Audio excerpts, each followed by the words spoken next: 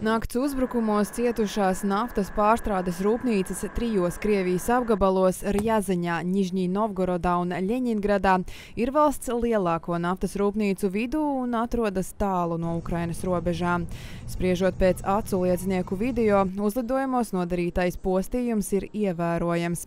Kopumā Krievijas gaisa aizsardzība atvairījusi vairāk nekā 60 dronu. Kā norāda avots Ukrainas armijā, ar uzbrukumiem cer iztukšot pretiniekam pieejamos resursus, samazinot naudas plūsmu no naftas eksporta, kas tieši tiek izmantota kara finansēšanai. Tā ir Ukrainas jaunā stratēģija - samazināt ienaidnieka ekonomisko potenciālu.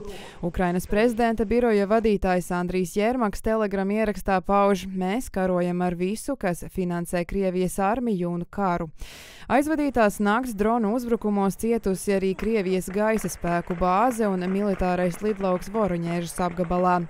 Spiedienu pret Krieviju vēlēšanu nedēļā uztur arī pretkremliski noskaņotie Krievu brīvprātīgie kaujinieki, kas turpina vakar sāktās operācijas Krievijas pierobežas apgabalos.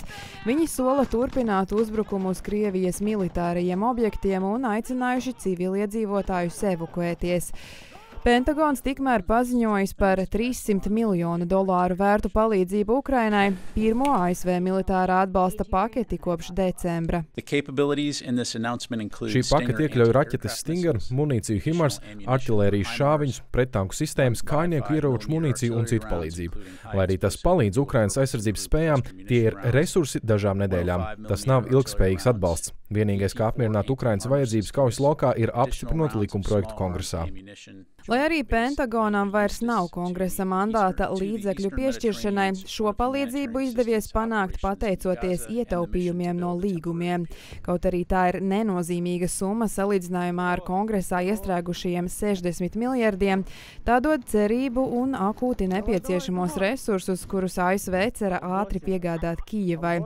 Turklāt Ukrainas amatpersonas sarunās ar ASV likumdevējiem saskatījušas iemeslu optimismam arī par šī nozīmīgā atbalsta daļas drīzu saņemšanu. Paula Markusa, Latvijas televīzija.